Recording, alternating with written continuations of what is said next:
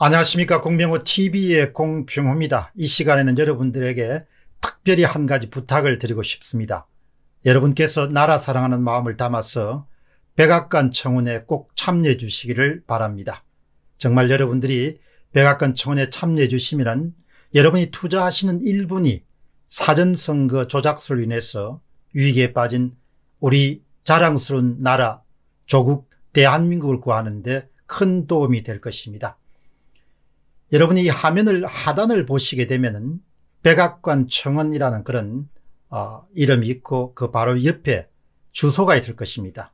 그 백악관 청원 코너를 누르시기 바랍니다.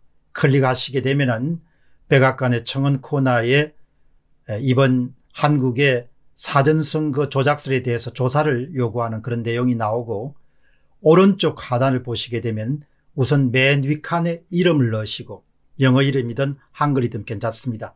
그 다음에 가능하면 영어를 쓰시죠. 그 다음 두 번째는 성을 넣으시고 그 다음에 세 번째 칸에는 이메일을 입력하시면 됩니다.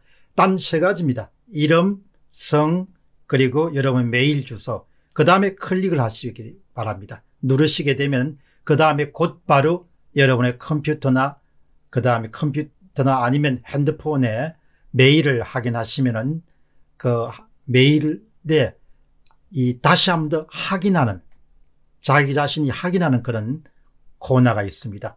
그 부분을 누르시게 되면 청원이 완료가 됩니다. 여러분들이 마무리하신 이후에 주변의 많은 분들에게 동참을 요청하시기 바랍니다. 여러분의 나라 사랑하는 마음이 우리나라를 위기에서 건지는데 큰 힘이 될 것입니다. 여러분 다시 한 번 더 부탁드리겠습니다.